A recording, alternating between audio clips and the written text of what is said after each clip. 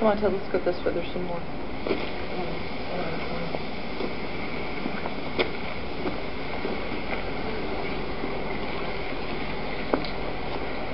Oh, that can't be good. Just two more times. Come on, Ted. Save your film for when it gets really good. Okay, we're down. Put the camera down. There you go. Got it. As we can see, the alien invasion has already begun. This somber, once happy block of northeast Philadelphia has been taken over by the Christmas aliens. As we can see, they have left their droppings everywhere. Are we still rolling? Yeah, we're still rolling.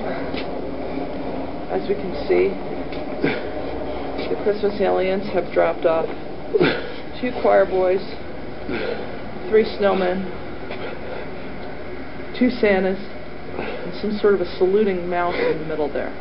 They've even gotten inside the house and put things in the windows. Mhm. Here, we see the inflatable carousel. Elmo coming out of the pod, and inside the window is none other than the Grinch.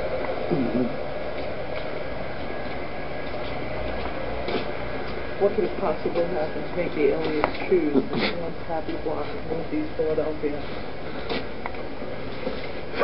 Here, then, here we see a skiing polar bear, and he's moving. It's alive! It's alive! Earthquake! Earthquake!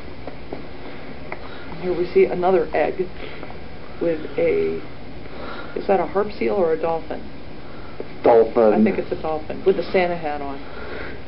Yes, there's no rhyme or reason in the animal kingdom as far as Christmas is concerned.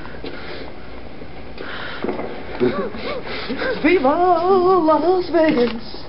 Viva! Oh my God, the house is on fire! This simple Christmas ornament simply says Street Legend. Here, Ted. Ted, turn around and film the sign behind me. Okay.